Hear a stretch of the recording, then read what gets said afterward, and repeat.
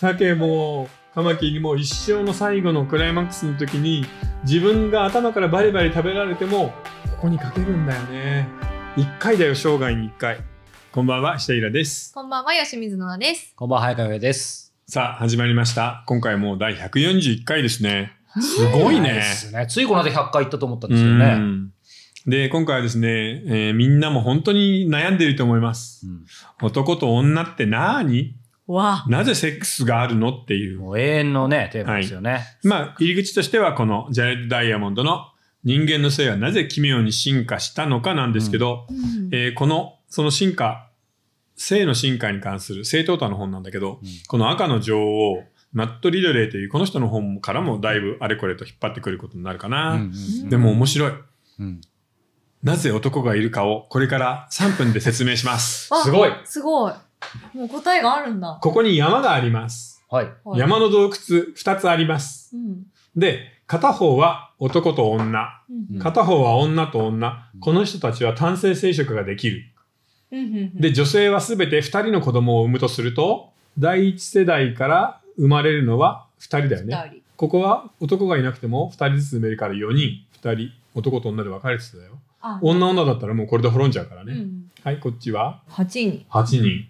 で、こうやってやっていくと、圧倒的にこっちが勝って、この山はこうなって、最後には有性生殖の方が負けます。うんうん人数でも負けます。そう。これね、コンピューターのシミュレーションでやっても、やっぱり負けて、こっちが勝つんだって。うん。はい自然界では実は人間は今男と女だし、大きい動物がオスメスに分かれてるから、有性生殖が多いと思うじゃん。うんでも自然界では単性生殖も山のようにいるの。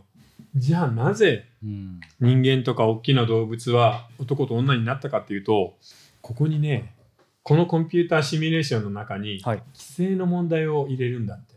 規制規制中の規制規制同じコメントします。か、か。寄生虫、サナダムシ、はいはいはいはい。ざわざわして ざわざわしますね。バクテリア、ウイルス。ここに、例えば、コンピューターの中でこうやってシミュレーションやるじゃん。この時に、男と女だけでなく、それぞれの中に進化する200種類のウイルスを入れるの。で、こっちは小さいじゃん、ものすごく。うんだから、インフルエンザでもコロナでもそうだけど、どんどん進化するわけ。はいはいうんってことは、こうやって女女だけでも強烈に増えるよね。ところが、ここの、こっから生まれてくるたくさんの女性たちは、みんなほぼ免疫系の遺伝子が一緒なの。ってことは、この中から一つ強いのが現れると、一つのウイルスで全滅するんだ。そっちは。全滅するの。うん。うんということで、このシミュレーションをやると、この場合では、普通の場合は100%女が勝つ。うんところが、200種類のウイルスを入れて、あれこれと免疫系の話をしてくると、50-50になるんだって。ほら、自然界の単色、男と女がいる有性生殖だよね。うんはい。。この勝ち負けは並んじゃうんだって。うんなので、免疫のためだったんだよね。へえ。なるほ。ど。そうなんだ。で、面白い話があって、うん七面鳥っているじゃない、はい。七面鳥の卵って結構大きいんだけど、うんそこに鳥がよくかかるウイルスのワクチン、うん混合ワクチンを注射すると、無精卵が強い免疫をもらうと、有精卵になってヒナになっちゃうんだって。え？えだからメスだけで増えられるの。ワクチンを打つとマジですか？だから、今さ、まあ、日本もどんどん人口がなくなったら大変だった方がいいんじゃない、韓国もそうだし、うん少子化がひどいって、うんうんこれからは女性だけに産んでもらうのがいいかもね。男性いなくて？そそういう今日はオープニングですか？う。そうか。だから、でもこれ面白いよなんか打ね。てば、そうべ関係ないってことか。別に、そ女だけでう。も、うん。この50-50になれる そ要素があるってことう。か。だから人間の体の中には1000万種類ぐらいのいろんな病原菌だったり毒物に対する、うんあの免疫があるわけよ。まあ、白血球あの、その受ける。うんそれをめちゃめちゃに進化させるために男が必要だったと。へえ。でさ、よくさ、あれあるじゃない？卵子、でかいです。ううんん。精子、ちょぼい。ちょろちょろちょろみたいなね。はいはいはい。よく見る、よく見るやつだ。ちょろちょろちょろ？動いてる動いてるはいはいはいはいで、これが、動いてる動いてる。これがね、うんこっちが100万で、こっちが1なんだって。え、どういうことですか？うんうん大きさが、重量です。100対精1。子の1個は100万1で対一かこっちは100 100万万円。対一かそう。だから1万、1円だけ持って、1円握りしめて、100万円の札束にチャレンジしてるの。やっぱり切ないですよね。で、こうやってくっつくよね。くっついた途端に、このちょろちょろは取れちゃいます。×です。この中だけで入るの。なぜこんなに小さいんだろ1円だから。う。これです。余計なウイルスとかがくっつかないように、うんもう、極力小さくして、こっちに入れるわけ。切そっか。切だかないなら、あの、免疫力の高いというか、うんその勢力だ、勢力っていうのなんか、あの、勢力ってあの、うん勢力じゃなくて、こう、勢いの方ね。そううん勢いがある精子だけが中に入ってこれるような仕組みになってるってことそうなってるし、ああの、ここの尻尾は入れないんだって。へー要するに、ここにでももしウイルスがついてたら嫌だから。なんかやっぱ冒頭から盛り上がるね。こ潔れ癖な、ね、めっちゃ面白いい。でしょ。これだけで1時間ぐらい話す。うん面そう。そうだだから、その免疫系の力を上げてやれば、うん無精卵が有精卵に途中で変わって、ちゃんと失明症が生まれるのよ。へねセーラン、優勢ラン。そうなんだ。でも、まあ、科学の進歩でだんだん男性っていう性別もしかしたらいらなくなってしまうのかもしれ男の人ないっていう。だダメじゃないですか、もうやっぱり。そう。だから、その、やだオスだけを殺すウイルスもいるんだって。マジですか？オス殺しウイルス。いや、なんかもう、前回からもう。世界一孤独なおじさんどころかうもう男性不要説じゃないですか。だから男の役割は本当不思議だよね。本当にうん。でもなんか、そうんそな、こんな中で、うんこんなもうみんなから見捨てられてる中で、あの、だって、うなんだ、卵子からも見捨てられてんですよ、もう。100万。いや本当いや、だからあんたはう、んもう本当に種だけくれればいいよ。遺伝子だけちょうだいね。そうそうそう。うんあとはいらないから淡白な関係で、うんこんなになんか仕事してね、お金稼いでくるぞとかなんか言ってやってる男の人たちを見ると本当に切なくなってきちゃう、なんか。川の上流で倒れてる鮭です。出た、また鮭の話してる。無料版で言っちゃいましたね。いつも有料版の最後の方で言うんですけど。これあの、韓流のアイドルではありません。ビッグバではありません。ン。え、はい違う。ではありません。ビッグバン聖生書。殖これどっちがいいのかな？すごい楽しいのかな？あ、来た来た来た来た来た。来たよ、来たよ。あー、カマキリ、その二つ思い浮かびますね、いつも。あとなんだ？もう、もう魚類とかでも山のようにいる。うんあの、海の生き物とかで。雲やら食われますよね、最後。え、なんか鮭とかって、ちょっと私すごいトラウマっていうか、小学校の時とかに多分それ見てると思うんですけど、なんかオスが白い液をビシャーってかけてるみたいな。ああいう。ほ縫製みたいな。要するにあれさ、直接じゃないんだよね。うんね、自分でなんかそうそう、中に入れないってことですよね。そうしかあの、一生のうち最後のクライマックスで一回やって終わり。そう。死んじゃうってえ、え、カマキリもクモもそうってことですか？そカマキリは雲食われますよね。食われます。そっか、食べられちゃうんだ。でね、恐ろしいことが書いてあった。食われるってすごいよ、だって。カマキリがこうやって交尾してるようんね。で、メスが、やって、聞きたくないあダメなのそういう話いや、全然 OK。全然どっちどっち？うん、要するにさ、交尾するために大事なのは腹部じゃん。はい。ところがカマ、メスのカマキリは興奮して、はいオスの腹部とかも食べちゃうんだって。興奮して食べるんだ。うん。なので、それを防ぐ腹部をやあの食い破られると、あの、性行為ができなくなるんで、自分から頭を差し出すんだって。頭から食べてねって。で、頭を食べられた後も、本能で体は動き続けて交尾ができると。皆さんが女王カマキリ見えた、今。恐ろしくない？やば鮭も、カマキリも一生の最後のクライマックスの時に、自分が頭からバリバリ食べられても、ここにかけるんだよね。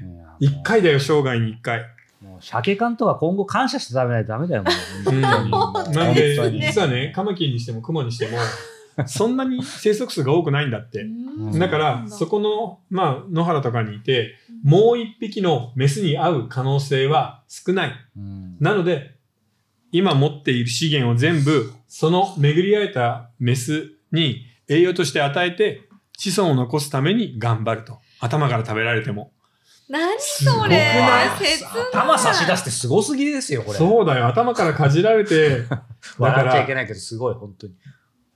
遺伝子は、わがままなんです。ね、オスだろうがメスだろうが、もうこれを残すためだけに全てやられてしまっている。だそう考えるとさ、切ないよね。この男と女が切ない。男も女も切ない。だって、カマキリのメスだってさ、オス美味しそうと思って見てないよね。えセックスしてる最中。興奮して食べちゃうんですよね。うん。で、しかも食べるように本能がプログラムされてるから、食べちゃうんだよ。こうやって手を伸ばされたらかじりついて、あのガジガジガジ顔、顔思い出しちゃうよね。あのカマキリのこう高速で動いてるこのね。いやそういう本書けそう。なんか人間の女の子でかけ興そう。奮して。あるよ、そういう短あーありそう。ああるね、やっぱり、ね。編。ジェームス・ディプトリー・ジュニアの。へーあるんだ。うん。だってすごい官能的じゃないですか。なんか。まあまあ、ある、ある意味そうだね。恐ろ確かにおぞましい食べちゃうからね、反応。うんどうする？男の人がこうやって頭出して、そしたらほっぺたを食い破ったりするんだよ。うわーなんかうわーなんとも言えない気持ちにゾワゾワしちゃう。するよねう。んしかもこうやってここ食い破ったら歯茎とか見えるからね。や血まみれの。下手なホラーより怖いです。本当に。で、それを本能でやってるんですよ。悪いことと思ってないっていうところまただから悪くないですか悪いことじゃないってことだからそうそ実は。あの、僕たちが、例えばさ、ある男の人がボディビルとかやって筋肉素敵って筋肉好きな女の子いるじゃん。う。うん。それと同じで、丸々と太ったオスを見たら、セクシーと思ってカマキリは交尾して食べるんだよ。その時に、まあ、オスを選ぶのはメスなので、大体自然界ではメスが選ぶことになるんで。うんうんうん。セクシーと思って食べるってことですね。そう、本当に食べる。セックスイコール食べるですね、じゃあもう。うん。この人たちからしたらそう。うん。でも食べてるとこってちょっとそういうのありません？なんか。あるあるあるちょっとそういうね、ちょっとセクシーな感じ、うんねセクシーな感じありますよね。いや、ビッグバン接触って本当に怖いよね。一生に一回だからね。っていうか、ビッグバンですよ。遺伝子のためにも我々生まれて生きてるわけですよね。もう究極言っちゃう。うん。もうそしたら極論もう人生なんてもう本当にそなかもううんだからこん大したな、こんなコーヒー飲んでるなんてすごいことだよ、逆にね。いやだからさ、単純に言えば男と女のことで悩んでいる、うんうん今の日本の社会はこうだって言うけれど、うんその全ての大元には、この遺伝子のうんそうですね。戦略とやわがままがある。えーこの人たちだけがともかく強く生き残るために僕たちをうまく使ってるってことなんだよね。でもそそのもし人類が生まれたその、っていうかそのわ我々人間がそのどんどん子孫を残して生まれてきてる意味がその遺伝子のその、えー継続うん。っていうのかな、だとしたらその婚活して彼女ができないとか、結婚できないとかって言ってるは男女が増えてることって、なんかど関係あるんですかね？もちろんあるよ。えでも普通に考えたらうん別にその、そこにハードルっていうものを一切設けない方が数は増えるより数は増えるじゃんね。って思っちゃそこで出てくるのがですね、要するに人間ぐらい強い種になると、うん。その自然淘汰の中でお互いの種の間で戦うっていうのが強いように思えるじゃん。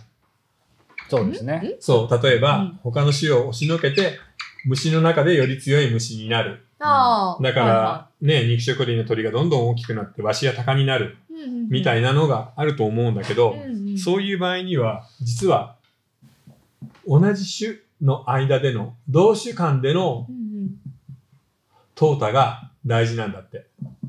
どうしかん、とうた。そう。うん。これね、えものすごい簡単な話があるの。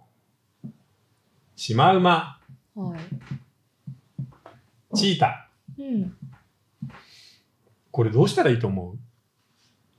シマウマ、足を速くして、うん。チータから逃げればいいよね。う。うんでも、シマウマの群れの中で考えたら、うん。全員がチータより速くなるなんて無理じゃん。うんうんなので、うん。シマウマの中で一番遅くならなければいい。だから仲間のシマウマよりちょっと足が速ければうん。逃げられるから、足の遅いやつがチータに食われる。はいはい犠牲がいれば自分は助かるからってことか、うんはいだからこれが人間の場合は働くんで、要は今人間人間はたくさんの子供を産まないじゃない。はい。で、子供にたくさん教育を与えて、より良いスタートを切る。これが今の人間のうん。遺伝子の目標なの。逆に。ベターでいいわけそう、だから子供を少なくする、うん。教育にお金をかけるみたいなことをやるんだけど、うん。ほら、そうすると。怖っうん怖っうん、えそれをなんか無意識にみんなやってるってことですよね人間、これが、あの、社会的な序列、同志間淘汰の中で強いポジションに行くための一番いい手だから、結局こうなってしまうと。じゃあこれも本能に組み込まれてそうしてるってことですかね。ある意味。ある意味ね。うんこ同志間投打っていうのはもう当然として存在する摂理ってことですそうよね。そうそう。だって、一番弱い島は食べられるわけだから必死だよね、みんな。子供の受験のために頑張っている中国も日本も親怖いたち。なへーこの胸の中のビリになりたくない。ビリは食べられる。なんか人間のやだよな。あの悪い部分の縮図を今話されてるような気がしますあ、ごめん。そこで言います。はい。ここには善とか悪は関係ないの。ってことですよね。でもか厳然たるこういう事実が。があるってことですそう、よ遺伝子の世界では善や悪はないわけ。うん。そうなんです怖いけどよ、うん。でも、あいつよりちょっと、あいつを出し抜いて、あいつを出しにしてみたいな、なんかこう自分が助かるみたいな。うん、もちろん。のじゃあでもそうすると向上意欲とか成長意欲ってなんかまことしやかにいいことみたいに言われてますけど今のそれと同じことってことですか？あるある意味。ある意味、その種の間でいいポジションにつくための努力だよね。へ女王 カマキリに食われないための努力ってことですよね。だから勉強になるでしょさっきの、なんかなぜ男がいるかとか、これとか、ホラーだよホラー。このビッグバン生殖とかさ、よかったと思わないこれじゃなくて、特にね、お二人はそうじゃないですか。ねえ本当にだって日村さんってこれ一生に一回しかできないんだよ。あ、そういうこそうだよ。女性女性もそこで卵産んだら死ぬんだから。とあ、そうなんだ。で、人間に女性、一回目ってそんな気持ちよくないじゃん。だから何もいいイメージなく死んでいくんだよ。やだー確かに。そっか。ビバーンって。ビバーンって卵バーンって産んでおしまい。バーン終わりですよ。いやもう本当に、あの、韓国のビッグバンには申し訳ない申し訳ないが、ですね恐ろしいよね。いやー、なんかほんとなんか人間ってもうちっぽけな存在だなと思っちゃいません？なんか。もうで全ては遺伝子にコントロールされてで、る。僕ね、うん。その見方がものすごい大事だと思うんだ。はい。社会的に正しいとか道徳がどう実はねのとか、あー生き物としていい悪いみたいなこと言ってるけど、うんこういうクールなちょっと少し距離を置いた見方って、もっともっとみんなした方がいいんじゃないかな。そうすると逆に閉塞感ちょっとね、うんある、ある意味ぶち破れるかもしれないですね。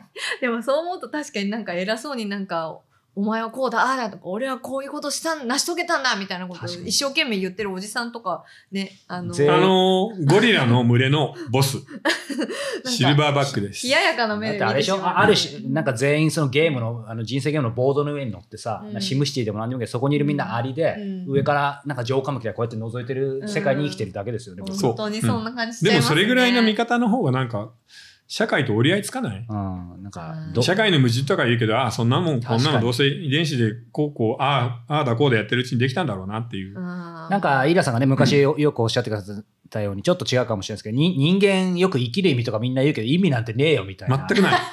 そう。何のために生きてるとかいねねえよ。でもそういうのってやっぱ救いになりますよね。うん下手な信仰宗教より救いになりますよだって、物質の中からできたんだからね。うん、物質の中で有機物の組み合わせで。それがなんかよりよくいね、生存するための方法を探してるうちに遺伝子ができた。うんで、遺伝子がさらにうまく生き残るためにうん動物だったり体ができたって思うと。うんで、セックスなんてもうそのものだからさ。確かへえ、なんか本当不思議ですよね、うん生き物って。不思議でも本当にカマキリじゃなくてよかっに。いや、た。ほんと、ちょっとカマキリ初めてエッチす。るときにさ、頭からかじられたら最悪じゃ。うんんまあでもちょっとなんかいいな。いい。そうだね。ちょっとそれもセクシーだよね。だって、食べられながら、例えばさ、エッチが止まらないっていうのはさ、うんカマキリのオスのセックスはめちゃめちゃいいはずだから。超気持ちいいんじゃないですか。うん。で、要するにマジで、その時には、その脳の中でいろんなホルモンが出てるから、ね。痛みを感じないはずなんだよ。あーやばい、ドドーパミン。よく人間でも言うう。じゃない。うん。あの、死の直前にドーパミンが大量に出て、うん死の苦痛を全部和らげて、ものすごい楽しく死ねるって。うんだから死は楽しいんだっていう人もいるもんね。君の膵臓を食べたいじゃなくて もうセックス中にあなたに食べられたいみたいななんかそういうもう物語でいいですよねもそうですねまあいや、面白いね。やはり盛り上がりますねそう。だから男は結局、病気にならないためにいるっていうのが分かりましたってことですね。うんああ、ですね。そっかあもうコロナワクチンと一緒です。うん。あの、男なんて女のためのワクチンです。でもそうかもしでれないもなんかこうやっぱロマンチックな部分あるじゃないですか、うんやっぱりそのロマンチックさのかけらもないただの道具として見られてるってどうどうなんですか？そのワクチンとして見られてる。男性が？あ男がですか？男の人たち。だってロマンチックってさ、人間が勝手に作ったことだよね。うん。遺伝子が笑ってると思うよ、こうやって一緒に座って。うん。お前ら本当に、ねただの乗り物のくせに、うん。確かに。どうする？僕たち自動車同士が恋をするのを見て、ね、いや、ホンダの車がトヨタの車に恋したっていうのいや、いいじゃないですか。もういいじゃないですか。いや、あとお前ら5年でスクラップだからなと思うでしょ。いや、わかんない。あ、そもそもそうだよ。そういうことよ。ほら、これもそうでしょ。死とは何か、そう。要するに、うん遺伝子が生き残るために進化していくじゃん。はい。進化するためには死ななきゃダメなの。ずーっと前あのあ、そうですね。要するにね、あのー、みたいなのがずっと残ってたら、生物の世界はずっと停滞しちゃうんで、死なないとダメだから死を発明したんだよね。うん。死はなかったんで、昔。バクテリアとかは、そうそうそうそうそこれがこうやってそうなんですか？分裂するだけだから、こうやって。あ、そっか。う。あの、この間著者の声で出てもらった生物はなぜ死ぬのかの小林先生が言ってましたよ。その進化って。へえ。そう、進化する、変化するために死を選んだの。実際死なないのまだいるしね。いるずっといるね。うん。さっき言ったマッシュルームだ。だってずっとそうそうそうそうそう。単性だから。へえ。ただめちゃめちゃ面白くて、ある種のバクテリア、年金なんだけど、僕たちさ、性っていうと2種類だって思うじゃん。うん。全然そんなことないの。うんううんんこの年金は男性と女性13種類の性があります。えー、どういうこと？性ってそもそもどこで判断するんだって話だな、そうすると。そう、要するに降節可能でうん子孫を作れる性が13いるんだけどうん、怖いの。え、何ですか？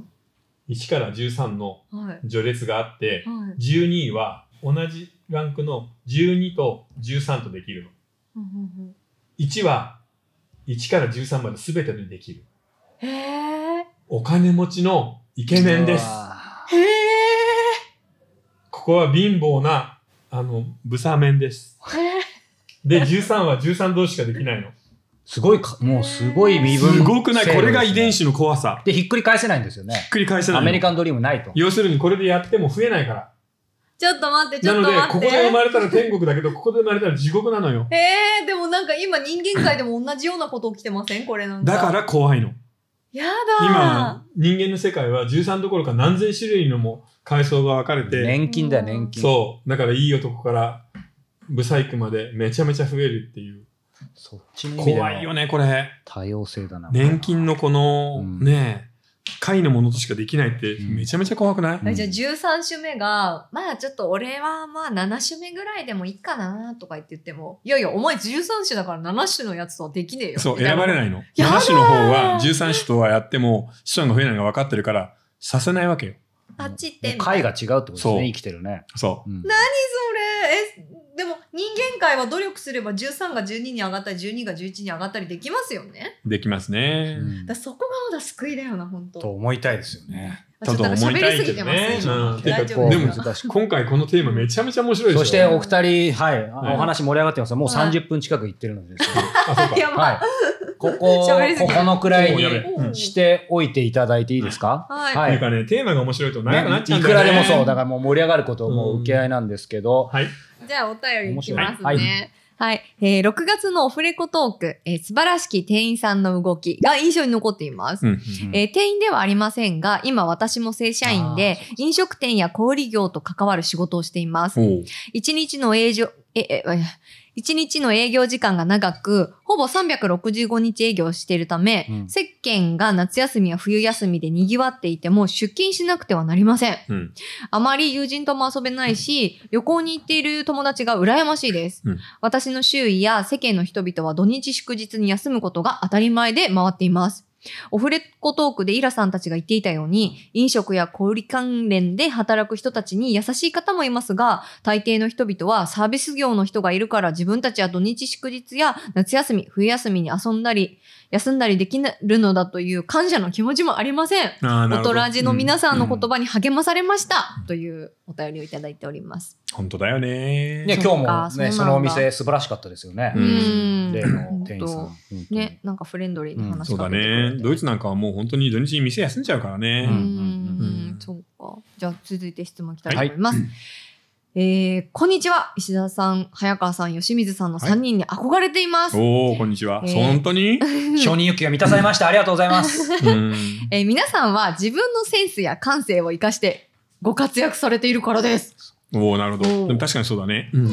えー早川さんによる石田さんへのインタビュー、センスよくじっくりのんびり待つも拝見、拝聴いたしました。うんえー皆さんのように自分のセンスや感性を活かして収入を得たり、活躍したりできるようになるためには、どのようなマインドが必要ですか？アドバイスいただきたいです。僕思うんだけどさ、うん。あのー自分に似た人を探してどんどん発信しちゃったらいいんじゃないかな。似た人を探す？逆に今、高度にハイセンスに頑張るみたいなの必要ないくない？ないなす。あのー悲しいほどなないですね。いろんなグループの YouTuber いるじゃん。はい。あんなの見たらさ、なんか仲良しでいつもわはわはやって、ね、焼きそばバカ食いしたりさ、あ、の、ゲームやったりうん。すればいいんだから、うんあの、今ある自分を生かす方法をまず考えちゃったらどうかな。その中で、うんそうやって表現しながら自分のレベルを上げていけば逆にいいんじゃないかな。うん完成してから何かを出すっていうのもいいかもしれないけど、うんもうすぐにやっちゃうのがいいと思うよ。その、そやっぱ即やるっていうのは結構大事ですよ、うん何がうまくいくか分かんないとこありそうますしね。そうそう。うん。で、正直言って、その、あんまり難しくならない方が時代的にはいいんだよね。うんね。あの、ものすごくいろんなね、コンピューターだったり、ネットだったりが進歩して、人間って割とおバカさんになってるんで、うん。おバカさんに受けるものをやるのが本当は一番いいんだよね。そうですで、ね大人人みたいにちょっと小難しいこと、で特にあの、なぜ性があるのかみたいなさ、超難しい話なんかしちゃうとあんま良くないからね、実は。僕ら自体もね、その辺いつもね、悩みながらやってますからね。うん。実はね。そうなんだ。まあでも面白いこと優先なんだけどね。うんうんなので、あんまりその、ね、自分でコツコツ磨きながら、でも完成をする前にどんどん自分から発信するっていうのがいいような気がするな。うんもしこういう仕事をしたいんであれば。そうですね。ノアさんどうですか？うんどうなかんでしょうね輝いてるノアさんどうですか？好きを仕事にしてるでも。多分、これはもう、大人ラジオ見てくださってるからこその多分ご意見だと思いますよ。うんなんかほら、ね、センスのいい方たちに囲まれて、私はもうた楽しくやらせていただいてます、本当に。ありがとうございます。いや感想急にじゃん。よいしょが、感想あの、じゃん。そういうよいしょは、あの、本当に視聴者にはリスナーには受けないんだよねス。リスリスリスリ。まあでも、エイヤーで結構やっちゃうの大事かもしれないですね。うんほんとね。そううんうん。確かにな。自分がなんか好きなものとかをうんうんと褒めたりして、そういうのちょっと上げてみたらできるんであれば。うんで、顔出しが嫌だったら、マスクかぶればいいから。ああ、そうですね。うん今、アバターとかもできるしね。うんうんなんかまずやるはマジで大事ですよね。ますますそうかもしれないですね。確かにな。はい、ありがとうございます。さあ、ということで、この後ね、えー後編はですね、もうちょっとね、カマキリの話怖かったんですけど、後編はカマキリの話出てくるか分かりませんが、そう、ビッグバン接触って もうその言葉忘れられないでしょ。もう今日寝れなそうですけどね。うんはいあの続きは、えー、4通りのご視聴方法があります。はいえー YouTube メンバーシップ、えー、audiobook.jp、Apple サブスクリプション、そして、えーニコニコ動画4通りでご覧いただけます。詳しくは概要欄をご覧ください。それでは後ほど。はい。オスだけの乳牛も作れないし、メスだけの、あのー肉牛も作れないんだって。今、できないんだ。いまだにできないの。性は分化して50、50になっちゃうんだ。マジで神の見えざる手じゃないですか。そうなの。これだすけはごいよね。あやっぱりできないんだ今もできないの。で、チンパンジーはたくさんセックスをするんですよ。なので、オスの玉はでかい。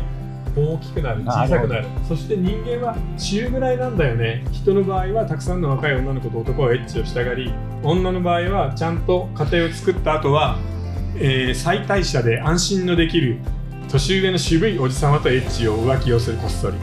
これが、えー恋愛の典型的なパターンです。身も蓋もないな、こりゃ。